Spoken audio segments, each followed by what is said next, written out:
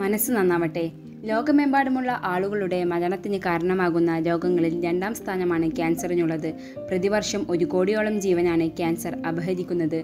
എന്നാൽ ലോകമെമ്പാടുമുള്ള ഈ മരണങ്ങളിൽ നാൽപ്പത് ശതമാനത്തിലേറെയും ജീവിതശൈലിയിലെ മാറ്റങ്ങൾ പതിവ് പരിശോധനകൾ നേരത്തെയുള്ള കണ്ടെത്തൽ ചികിത്സ എന്നിവയിലൂടെ തടയാനാകും.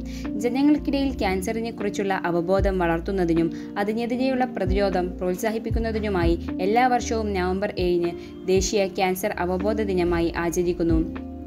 അസാധാരണമായ കോശവളർച്ച ശരീരത്തിലെ മറ്റു കലകളെയും ബാധിക്കുന്ന അവസ്ഥയാണ് അർബുദം അഥവാ ക്യാൻസർ. ശരീരത്തിലെ ഏത് അവയവത്തെയും ക്യാൻസർ ബാധിക്കാം. എങ്കിലും അതിവേഗം വിഭജിക്കുന്ന കോശങ്ങളിൽ പൊതുവെ ക്യാൻസർ കൂടുതലായി കണ്ടുവരുന്നു.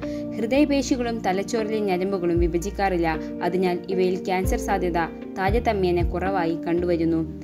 ക്യാൻസർ രോഗങ്ങളെ പൊതുവായി രണ്ടായി തരം തിരിക്കാം. ഗരം അഥവാ ദൃഢ ക്യാൻസറുകളെന്നും ദ്രവ ക്യാൻസറുകളെന്നും. സ്തനങ്ങൾ ശ്വാസകോശം വൃക്ക കുടൽ കരൽ മുതലായ ദൃഢകലകളിൽ നിന്നാണ് മിക്ക ക്യാൻസറുകളും പിറക്കുന്നത്. എന്നാൽ രക്താർബുദം ലിംഫോമ എന്നിവ രക്തം ലസിക എന്നീ ദ്രവകലകളിൽ നിന്നും ഉടലെടുക്കുന്നവയാകയാൽ അവയെ ദ്രവ ക്യാൻസർ എന്ന് വിളിച്ചു വരുന്നു. അർബുദത്തിന്റെ മുന്നോടിയായി ചില മാറ്റങ്ങൾ ഉണ്ടാകുന്നു. ഇവ അന്തിമമായി അർബുദത്തിലേക്കു തന്നെ നീങ്ങിക്കൊള്ളണമെന്ന് നിർബന്ധമില്ലെങ്കിലും അവയും അർബുദവും തമ്മിലുള്ള ബന്ധം സാധാരണയിൽ കവിഞ്ഞതാണ്. അതുകൊണ്ട് ഈ അവസ്ഥകളെ പ്രീ ക്യാൻസർ രോഗങ്ങൾ എന്നും വിളിക്കാറുണ്ട്. ഉദാഹരണത്തിന് കവിളിലും നാവിലും കാണാറുള്ള വെളുത്ത നിറത്തിലുള്ള തടിപ്പും കല്ലിപ്പും വായിലെ അർബുദത്തിന് മുന്നോടിയാണ്. പലപ്പോഴും ക്യാൻസർ രോഗത്തോട് അമിതമായ ഭയവും ആശങ്കയും പൊതുസമൂഹം വെച്ച് പുലർത്തുന്നത് കാണാറുണ്ട്. എന്നാൽ ഇത് ക്യാൻസർ രോഗികളോട് തന്നെ കാണിക്കുന്ന അനീതിയായി മാത്രമേ കണക്കാക്കാനാകൂ.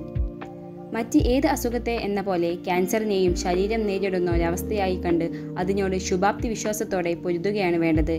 ക്യാൻസറിന്റെ കാരണങ്ങൾ കണ്ടെത്തൽ ചികിത്സ എന്നിവയുമായി ബന്ധപ്പെട്ട് ധാരാളം തെറ്റിദ്ധാരണകൾ പ്രചരിക്കാറുണ്ട്.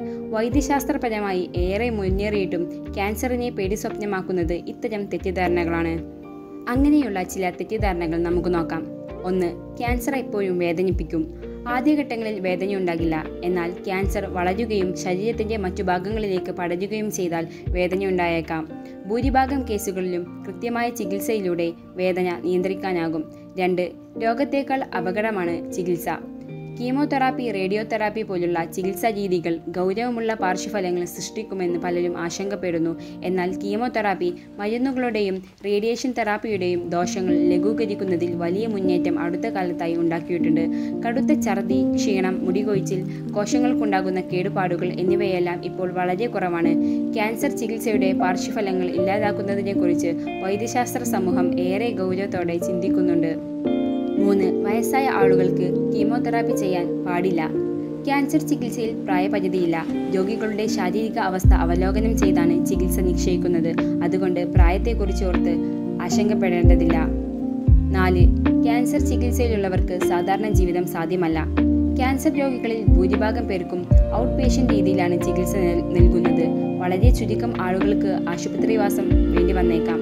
അതും കുറച്ച് ദിവസത്തേക്ക് മാത്രം. അതുകൊണ്ട് ക്യാൻസർ രോഗികൾക്ക് അവരുടെ നിത്യജീവിതത്തിൽ ചെയ്യുന്ന കാര്യങ്ങൾ കാര്യമായി പരിമിതപ്പെടുത്തേണ്ടി വരില്ല.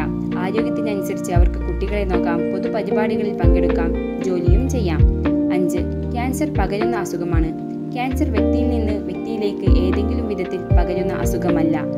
വിദൂരമായിട്ടെങ്കിലും അതിനുള്ള സാധ്യത നിലനിൽക്കുന്നത് അവയവദാനത്തിന്റെ കാര്യത്തിൽ മാത്രമാണ്. അതുകൊണ്ട് ക്യാൻസർ ചരിത്രമുള്ളവരുടെ അവയവങ്ങൾ സ്വീകരിക്കുന്നത് ഡോക്ടർമാർ പ്രോത്സാഹിപ്പിക്കാറില്ല. ആറ്. സർജറിയും ബയോപ്സിയും ക്യാൻസർ കോശങ്ങൾ പെരുകാൻ കാരണമാകും. സർജറി മൂലം ശരീരത്തിൽ ക്യാൻസർ കോശങ്ങൾ പെരുകാനുള്ള സാധ്യത വളരെ കുറവാണ്. കൃത്യമായ മാർഗനിർദ്ദേശങ്ങൾ പാലിച്ച് ക്യാൻസർ കോശങ്ങൾ പെരുകാനുള്ള എല്ലാ സാധ്യതകളും അടച്ചുകൊണ്ടാണ് സർജർമാർ ട്യൂമർ നീക്കം ചെയ്യുക. ഏഴ് കുടുംബത്തിൽ ആർക്കെങ്കിലും ഉണ്ടെങ്കിൽ സാധ്യത കൂടുമോ? ജീനുകളിൽ ഉണ്ടാകുന്ന ഗുണകരമല്ലാത്ത മാറ്റങ്ങളാണ് ക്യാൻസറിന് കാരണമാകുന്നത്. ഇതിൽ അഞ്ച് മുതൽ പത്ത് ശതമാനം വരെ മാത്രമാണ് പാരമ്പര്യമായി സംഭവിക്കുന്നത്. ഇത്തരം ക്യാൻസറുകളെ ഹെറിഡിറ്ററി ക്യാൻസർ എന്ന് പറയുന്നു. എട്ട്. സ്ട്രെസ് ക്യാൻസറിന് കാരണമാകും. നിരന്തരമായ മാനസിക സമ്മർദ്ദം ശാരീരികമായ അവശതകൾക്ക് കാരണമായേക്കാം. എന്നാൽ മാനസിക സമ്മർദ്ദവും ക്യാൻസറും തമ്മിൽ നേരിട്ട് ബന്ധമുള്ളതായി ഇതുവരെ കണ്ടെത്തിയിട്ടില്ല. ഇത്തരം തെറ്റിദ്ധാരണകൾ ഒഴിവാക്കി ക്യാൻസർ വിഴുങ്ങിയ ജീവിതങ്ങളെ അവർക്ക് മനഃശക്തി പകർന്നുകൊണ്ട് ആനന്ദമായൊരു ജീവിതം കൊടുക്കാൻ എല്ലാവർക്കും കഴിയട്ടെ എന്ന പ്രാർത്ഥനയായി നിർത്തുന്നു. മനസ്സ് നന്നാവട്ടെ.